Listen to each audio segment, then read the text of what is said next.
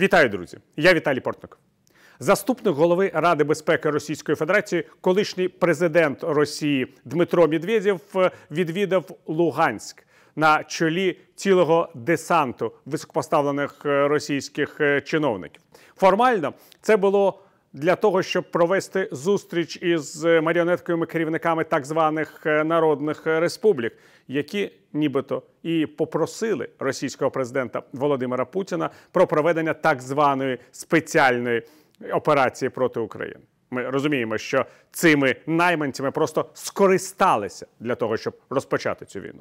А фактично російське політичне керівництво вирішило продемонструвати, що Донбас це вже майже російська територія, і це також е, потрібно усвідомлювати. Адже Дмитро Медведєв е, прибув е, на нараду у Луганську разом із першим заступником очільника адміністрації президента Росії Сергієм Кирієнком. Той вже був раніше у окупованому Маріуполі і давав вказівки. І на Донбасі, і у Херсоні, і у Мелітополі готуватися до приєднання до Росії, яка нібито прийшла в ці регіони назавжди. Приїхали і керівники силових міністерств знову таки, щоб продемонструвати, що Саме вони тепер опікуються окупованою Луганщиною, ну і звісно, Донеччиною.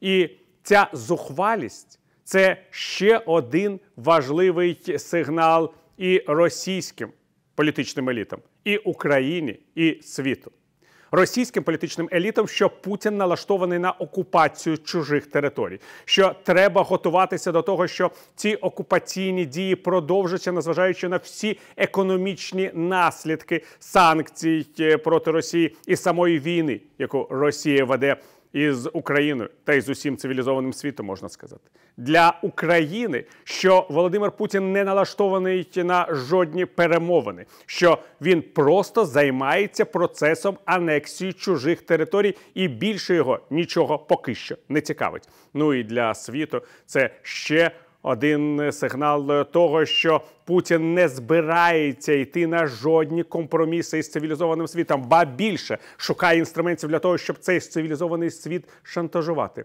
Якщо не голодом, так холодом. Якщо не холодом, так аварією на Запорізькій атомній інструментів для шантажу російського президента ще чимало.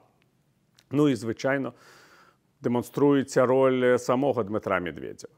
Варто нагадати, що у е, аналітичному контексті та й у висловленнях багатьох е, політиків і спостерігачів в самій Україні про Медведєва намагаються говорити як про такого собі клоуна, який своїми епатажними заявами.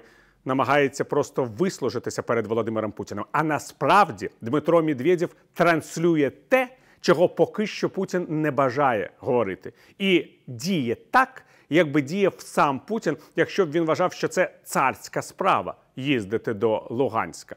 Але якщо імператор е, зневажає своїх маріонеток, до них е, можуть е, приїхати бояри. І ось саме таким боярином в окупаційному вбранні і відчуває себе Дмитро Медведєв, коли розповідає нам про чергову поїздку на загарбану землю.